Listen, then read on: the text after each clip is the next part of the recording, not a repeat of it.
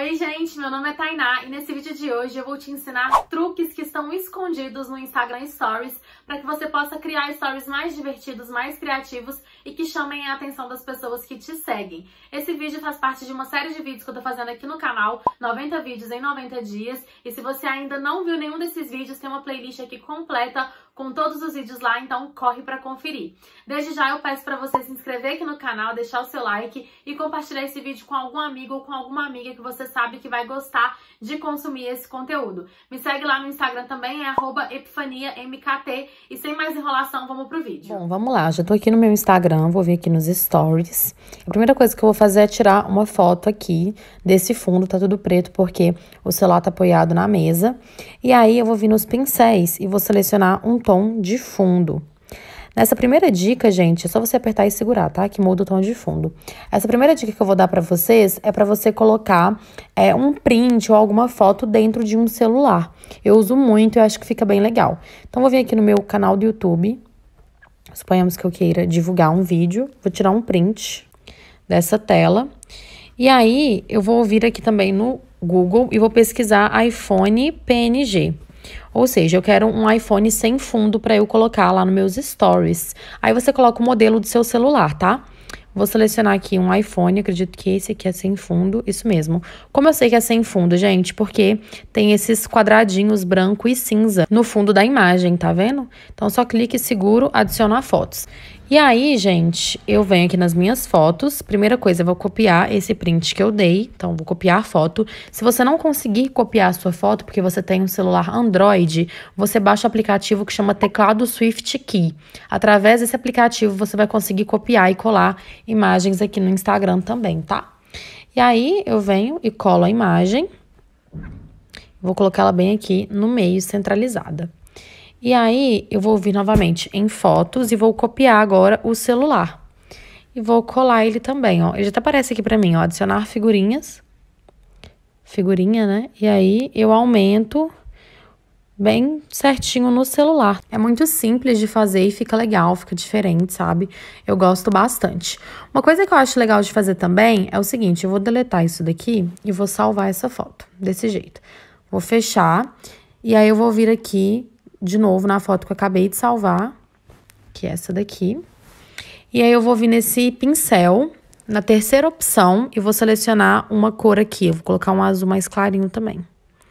Bem parecido com esse azul de fundo. Vou clicar e segurar.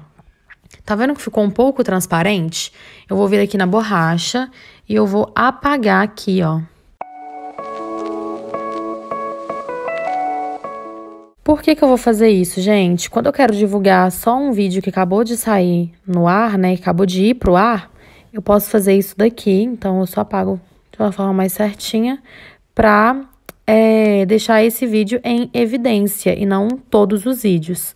E aí, eu vou novamente copiar o celular. Acho que já tá, já tá até copiado. E vou colar aqui. E aí, vou aumentar. E prontinho, tá vendo? Que eu não apaguei direitinho, mas se você tiver um pouquinho de paciência, dá pra você fazer um retângulo bem bonitinho, certinho, e apagar somente o que você deseja.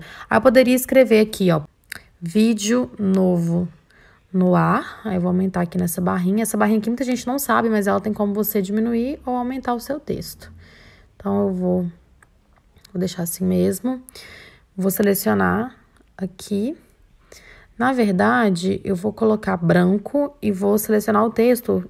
Muita gente não sabe disso também. Tem como você mudar a cor do texto aqui, entendeu? Então, eu poderia colocar rosa, amarelo, verde, qualquer cor. Vou colocar o azul e vou diminuir. Então, eu poderia fazer isso daqui, colocar do lado de fora, ou invertidinho assim, ó.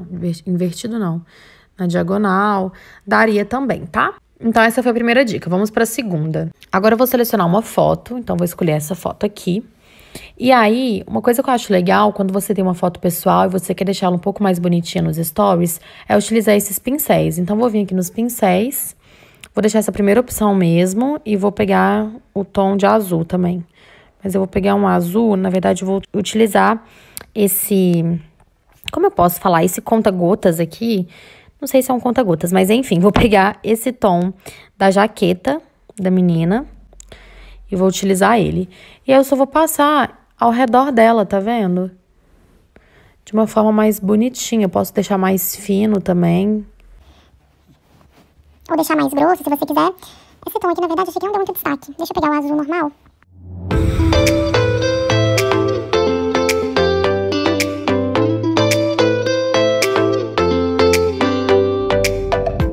Aí, gente, suponhamos que você seja uma loja de roupa e você quer falar dessa jaqueta que ela está à venda e você vai colocar o preço dessa jaqueta. Eu vou vir aqui nesse azinho e ver selecionar um ponto. Vou escrever um ponto aqui.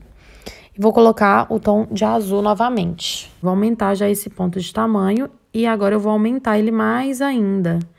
E eu posso colocar ele aqui, ó. Tá vendo? Fica bem certinho. Quando a gente dá um aumento assim, parece que ele vai ficar feio, né? Que não vai ficar certo, mas ele fica bem certinho. Com qualidade boa. Eu coloco o preço da jaqueta. Suponhamos que ela seja 199 reais. Então, eu poderia colocar esse preço dentro dessa bolinha que eu fiz. Poderia também colocar mais pra cá, ó. E escrever jaqueta, é porque as pessoas não vão entender, né? Que é jaqueta jeans. E aí eu vou colocar esse branco mesmo, vou escrever novamente jaqueta e vou colocar o tom de azul. Vou aumentar e aí, ó, vou fazer assim, pra deixar com um fundinho, tá vendo?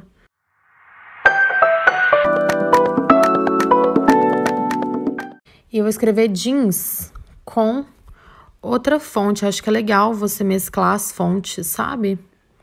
Então, vou colocar aqui a neon.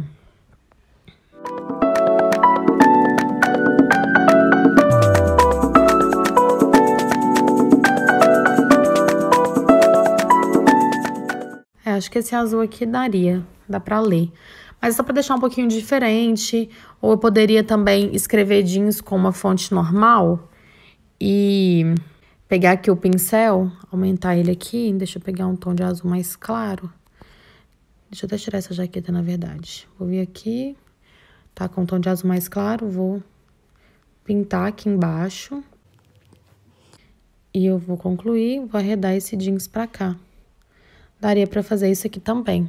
É só você usar a sua criatividade, ter paciência pra fazer um story mais bonitinho, tá? Então dá pra fazer vários stories legais. Bom, agora eu vou selecionar uma foto de corpo corpo todo, né? Metade do corpo, na verdade. E eu vou fazer um espiral ao redor do corpo dessa menina. Então, vou vir aqui no pincel novamente e vou selecionar o quarto pincel, que é esse brilhante. Vou escolher o tom de amarelo, que eu acho que vai combinar com essa foto. E só para vocês verem, tem essa barrinha aqui, tá vendo? Eu posso deixar mais grosso, que seria assim, ou posso deixar mais fino, seria assim. Eu vou deixar mais fino mesmo, que eu acho que vai ficar melhor. E basicamente, eu vou só fazer um espiral ao redor do corpo dela. Pronto, fiz um espiral ao redor do corpo dela. Aí eu vou vir aqui na borracha e vou começar a apagar algumas partes para parecer que esse espiral tá realmente ao redor do corpo dessa menina. Então, deixa eu aumentar aqui né, o tamanho da borracha, que tá muito pequeno. Vou ir apagando.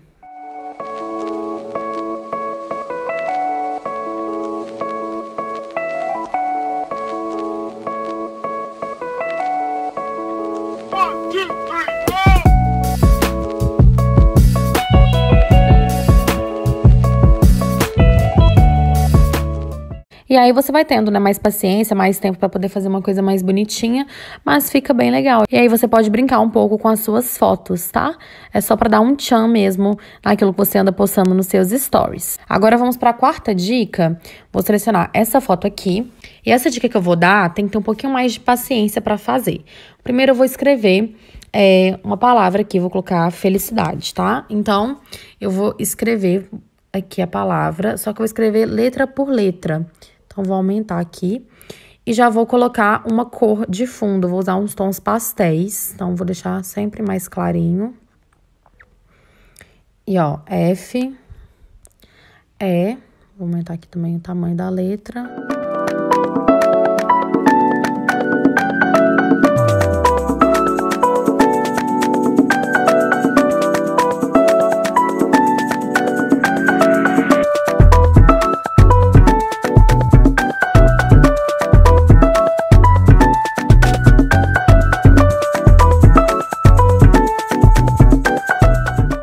Aí, gente, já escrevi a palavra toda aqui. Eu vou ir arredando.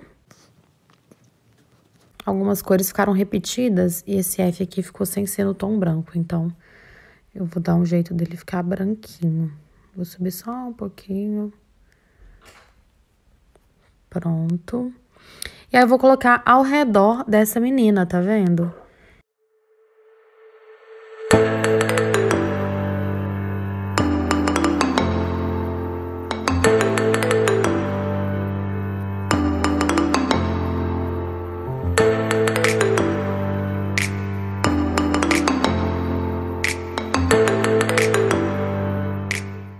Fica bem bonitinho. Eu gosto bastante de utilizar esse efeito também. Eu não tenho tanta paciência, então não é sempre que eu faço. Mas quando eu faço, eu sempre gosto do resultado. Aí eu posso utilizar aquele efeito da linha que eu falei com vocês na outra foto. E colocar uma linha aqui mais fina. E fazer aqui também, sabe? Pra ficar mais estilosinho, diferente e tudo mais. Isso. Eu poderia também, gente, colocar essas letras todas juntas como se fosse um título, tá? Então, poderia vir aqui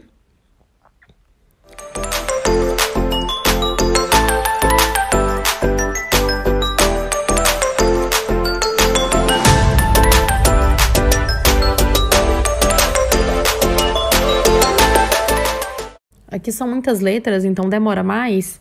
E é como eu falei, com paciência vai ficando cada vez mais bonito.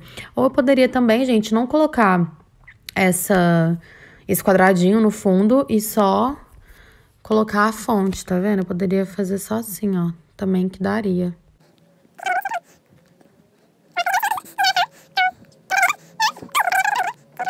Colocar ao redor do corpo, escrever uma frase inteira ao redor do corpo, fica super legal também. Uma outra dica muito simples que eu quero dar pra vocês é o seguinte: vou selecionar uma foto dos meus pais, do casamento deles, e aí eu vou vir aqui no pincel e vou fazer um coração. Muita gente acha que é um GIF, que já é alguma coisa pronta, mas não, é só teste mesmo e ficar fazendo. Que é o seguinte: pegar um coração de uma beirada até a outra, tá vendo?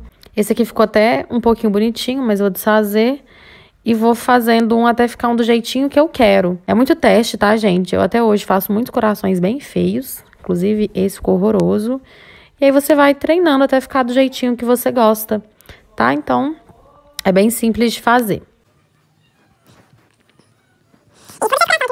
E aí, eu vou escrever aqui um texto, tipo assim, é, sei lá, Dora e Claudinei, que, são, que é o nome dos meus pais. Dora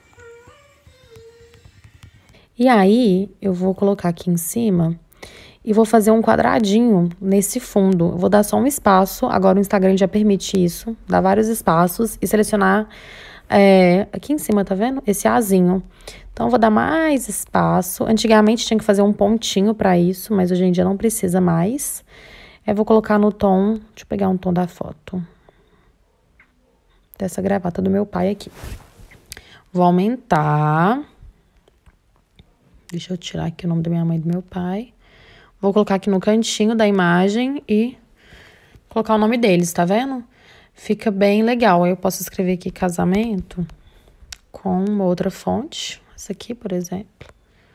Ficaria bem bonitinho também tá? Então fica bem legal, só você brincar bastante com os stories. E a última dica que eu vou dar nesse vídeo, mas se você quiser mais dicas, tem um outro vídeo aqui no canal com truques criativos para os stories, que tem algumas dicas diferentes das que eu dei nesse vídeo. Vou deixar aqui nos cards para vocês.